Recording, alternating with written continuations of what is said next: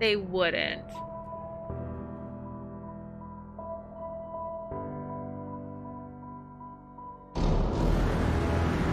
Okay. I was like, they're not gonna just kill that kid, right? Oh, Um,